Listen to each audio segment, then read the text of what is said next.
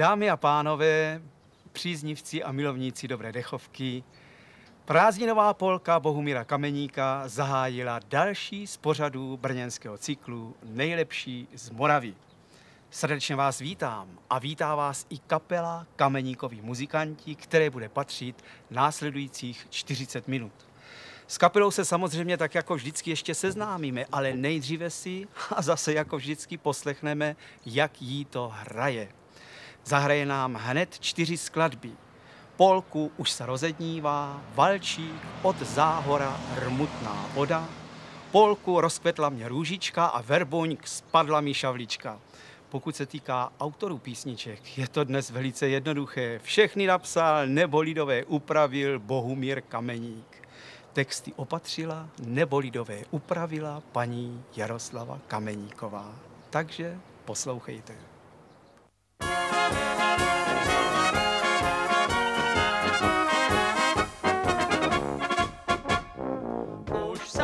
Se rozednívá, aj slavíček zpívá. Sedí na okénku a pěknou notenku každé ráno mívá. Sedí na okénku a pěknou notenku každé ráno mívá. Už se rozednívá, aj rosenka studí.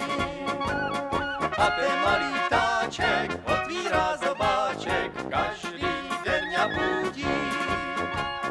A ten malý ptáček otvírá zobáček, každý den mě budí.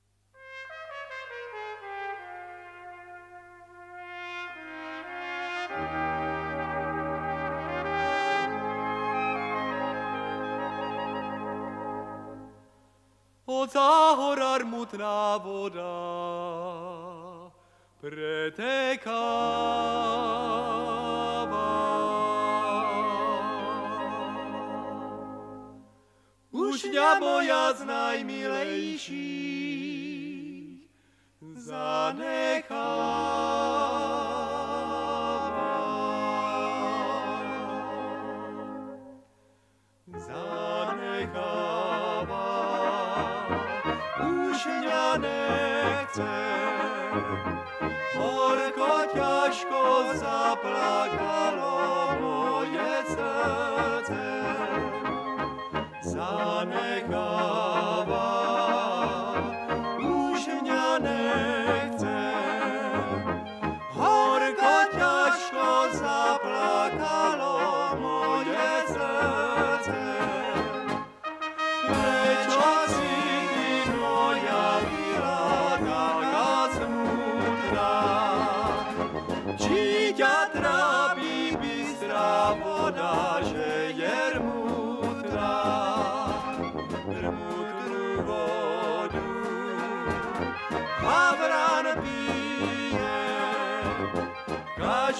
Si to dívča bere, co miluje.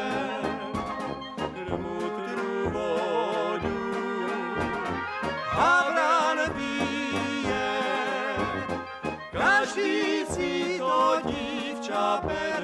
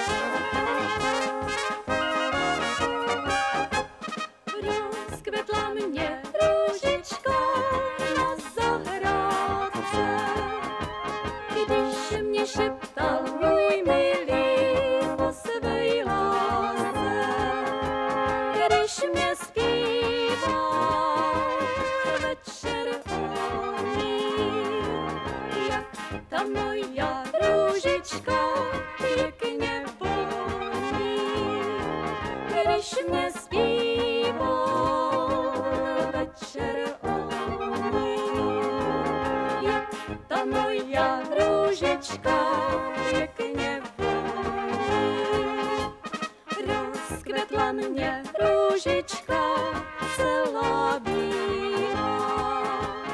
Já bych s tebou šahajku ráda bílá. Ve dne v noci můj ty světe, ať nám naša růžička neodkvete.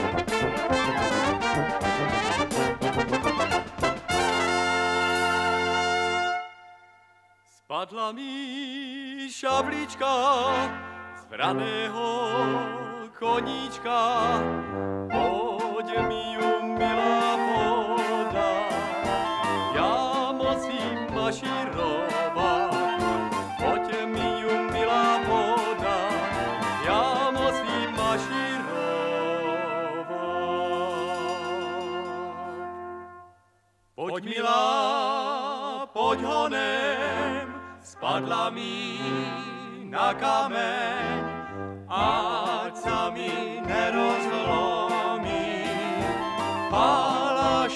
Palášek ocelový, ať sa mi nerozlomí.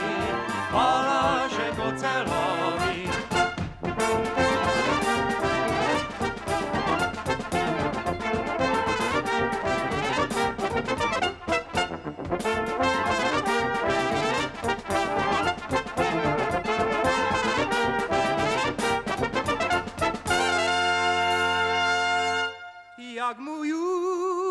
Odala.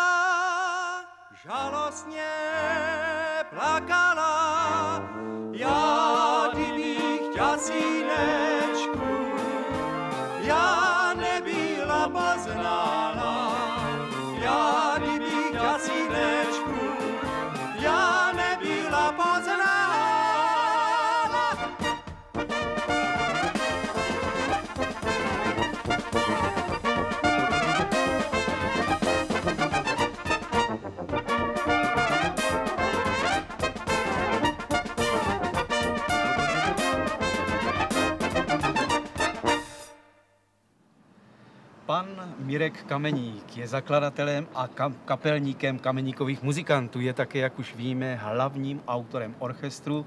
Kromě toho hraje na trubku a zpívá také jistě nejpovolanějším, kdo nám může kapelu po všech stránkách přiblížit. Samozřejmě, Vaš- velice rád. Vaše kapela je tak říkajíc na dechovkovém nebi nováčkem. No ne, tak docela. Eh, Tu, kterou jste slyšeli, tak opravdu hraje teprve několik měsíců, ale kameníkoví muzikanti eh, trvají již tři roky a tenkrát jsme už hráli trošičku v jiném obsazení.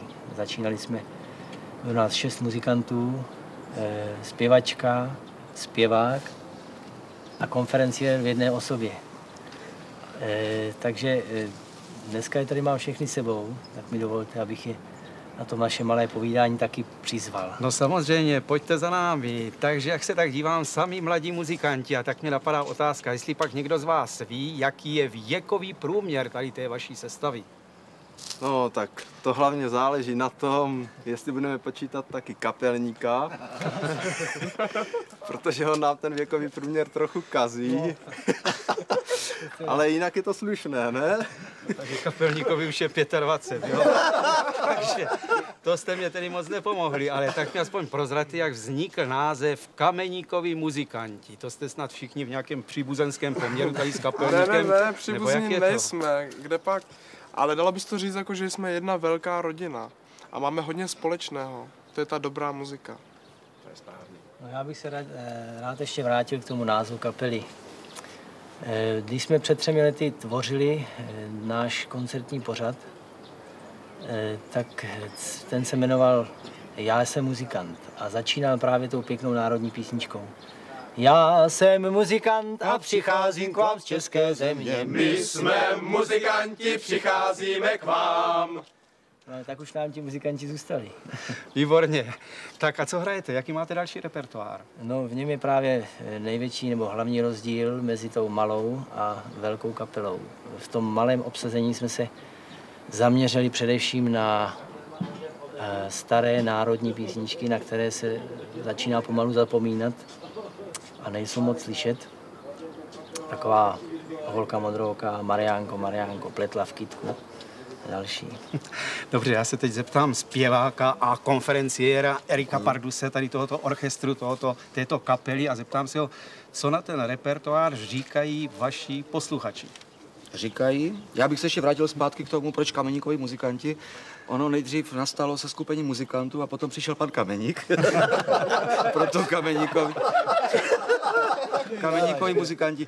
No, naši diváci, které jsme si pěstovali dlouhá léta, celá tři, eh, tak zpočátku byli rozpačití, protože když jsem zaspíval já svým hrubým hlasem, tak byli na rozpacích, jestli jsou na správném koncertu, jestli to je hard rock nebo dechovka. Ale když zjistili, že zpíváme jim eh, dobře známé lidové potažmo národní písničky, tak si s náma zpívali, bylo to velice příjemné a musím zdůraznit, že na konci každého našeho koncertu nám zatleskali. Tak já vás teď vezmu za slovo a vyzkoušíme si to. A nejenom my tady, ale hlavně naši televizní diváci. Co říkáte, přátelé, že by nám teď ta Kameníkova šestka takové tři lidové pozapomenuté melodie zahrála? A my si je s nimi zaspíváme. Schválně. Jestli to ještě dokážete.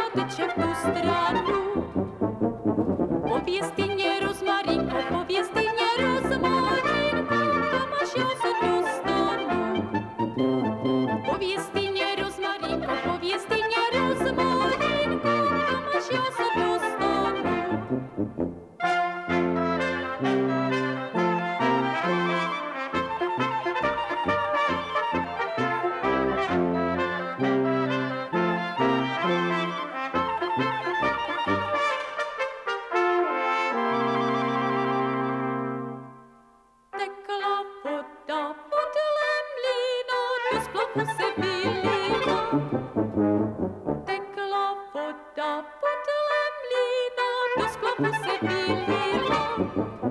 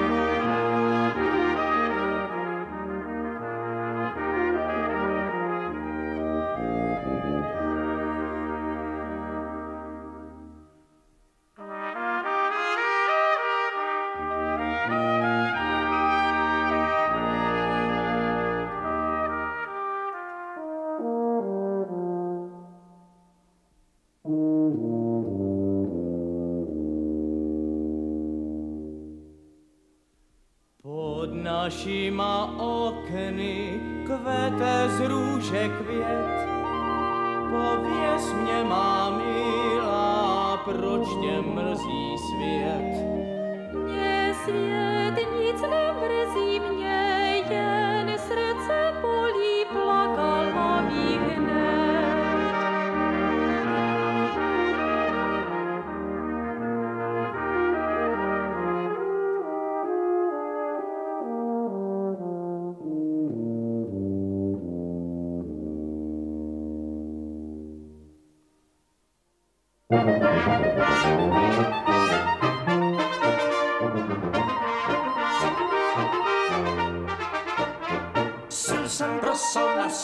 souvrati, nebudu ho žíti.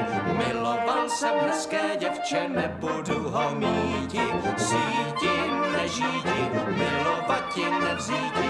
Sil jsem, nežal jsem, miloval jsem, nevzal jsem. Síti, nežíti, milovati, nevzíti. Sil jsem, nežal jsem, miloval jsem, nevzal jsem.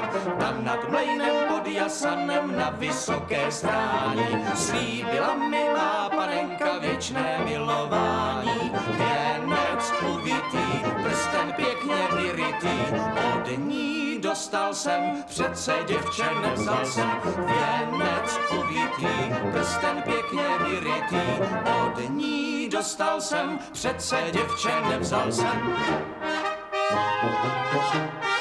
Sil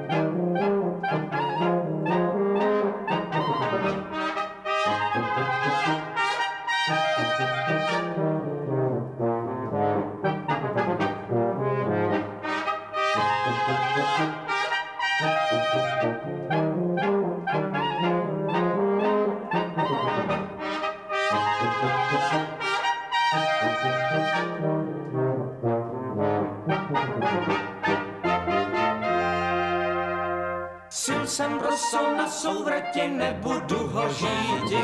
Miloval jsem hezké děvče, nebudu ho míti.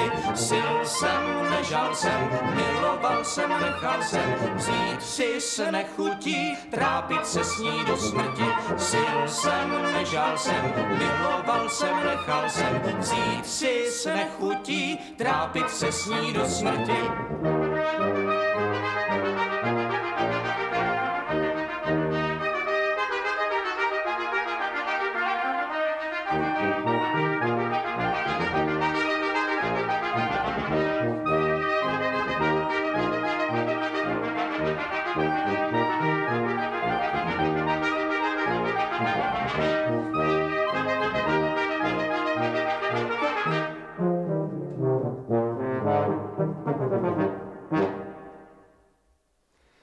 Tak co, přátelé, zaspívali jste si. Pokud jde o mě, musím přiznat, že se mi ty písničky připomněly tak trochu dětská léta, když jsme se je učili ve škole.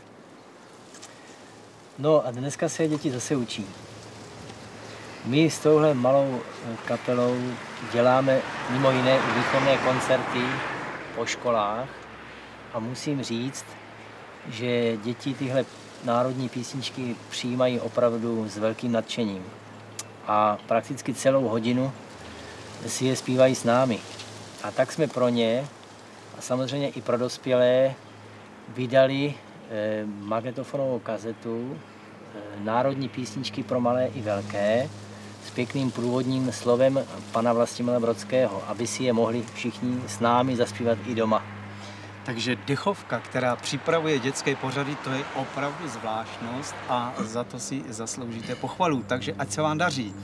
Ale teď se zase vrátíme k té vaší velké kapele, která přece jenom už je asi trošičku tradiční. To máte pravdu. no. Ta, ta vznikla rozšířením původní šestky o další muzikanty a solisty. A v současné době připravujeme nový koncertní pořad s touhle velkou větší kapelou. Dále e, magnetofonovou kazetu CD disk s těmito písničkami. E, takže jak jste slyšeli, hrajeme repertoár běžné moravské dechovky. No a většinu skladeb buď to upravuju, nebo si složím, skládám sám. Ano, a texty vám píše vaše paní, to už jsme vlastně také prozradili a tak jsme i paní Kameníkovou pozvali k nám na pár slov. Paní Kameníková, prozraďte mě hned na začátku, jak se vám spolupracuje s manželem, kdo má u vás v rodině hlavní slovo. Tak s manželem se mě spolupracuje docela dobře a myslím si, že ta rodinná skladatelská spolupráce má i své určité výhody. Třeba když nám vznikne nějaká nesrovnalost deklamační nebo melodická, tak to můžeme řešit hned na místě a nemusíme to odkládat na indy. No a co se týká té, toho hlavního slova, tak v muzice a v té skladatelské činnosti musí mít samozřejmě hlavní slovo kapelník. No a to ostatní rozhodování potom zase připadá na mě. Takže se přiznala, že je to vlastně tak, jako ve všech rodinách. Hlavní slovo má žena. Dobře, další otázku si lidstvo klade od nepaměti. Co bylo dřív? Vejce nebo slepice? Takže já se zeptám, protože to věřím, že naše posluchače to bude zajímat, co bylo dřív? Text anebo melodie?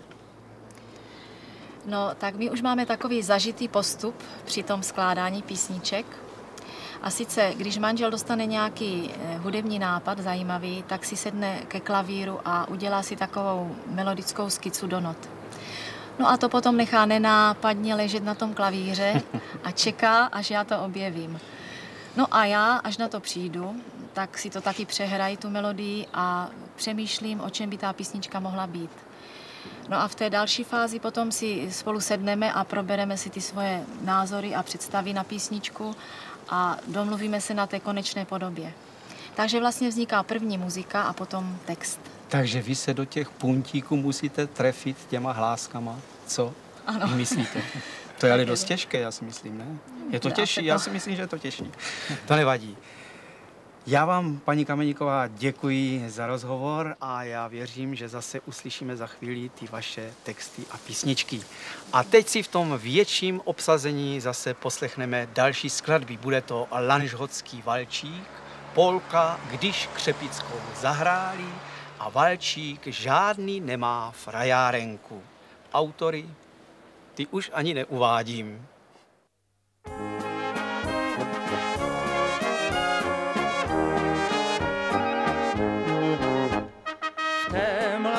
Lanžhotském poli.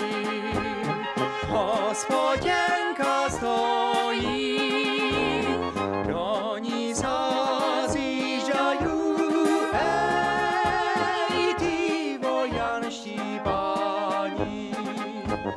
Do ní zazížají, ej, ty vojanští páni keď sa pozjížďali, za stůl posedali, šenkerku volali, ej, šenkerku volali, šenkerku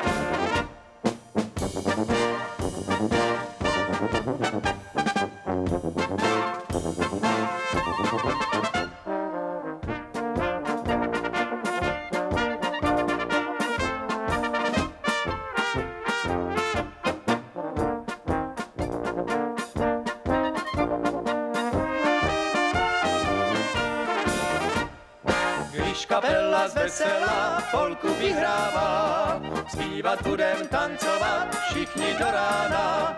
Dneska budu vínko rád s kamarády pobíjat. Muzikanti hrajte nám, solo si dám. Dneska budu vínko rád s kamarády pobíjat. Muzikanti hrajte nám, solo si dám.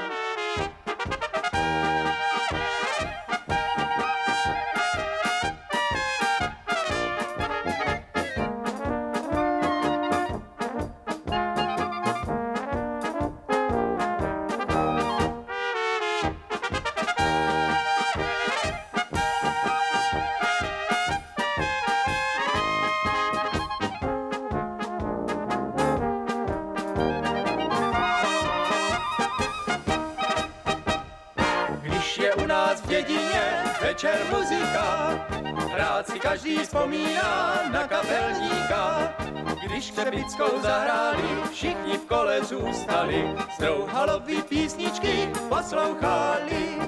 Když křepickou zahráli, všichni v kole zůstali, strouhalový písničky poslouchali.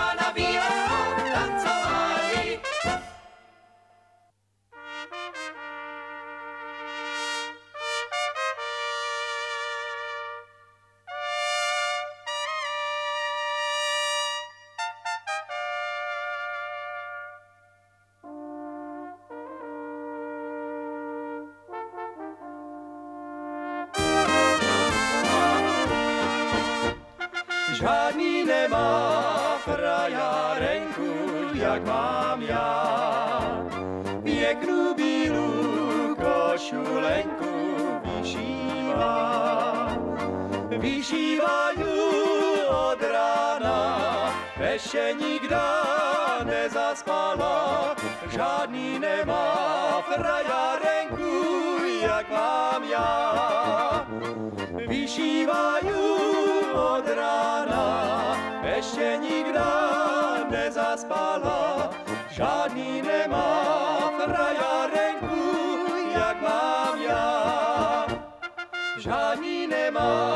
svý koníčky, jak já mám.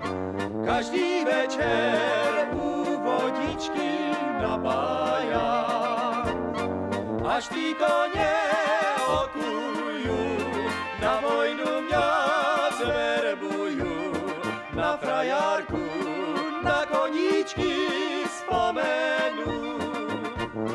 Až ty koně okuju, na vojnu mě zverbuju, na frajárku, na koníčky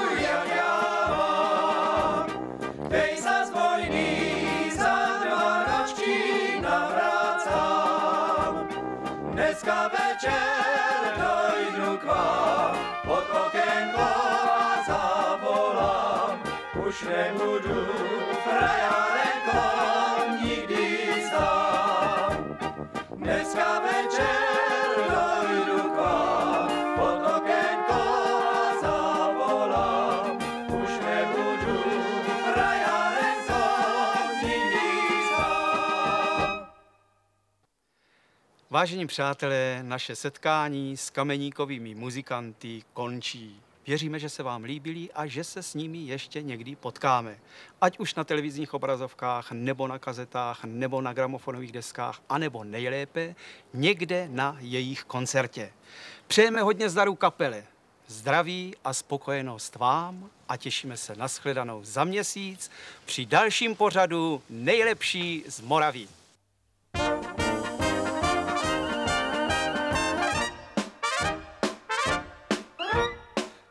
Adze jdeš, Helenko, Helenko, do zahrady na zelené šenko. Nezatváraj dvírečka za šebu, bo já idem, Helenka, za tebu.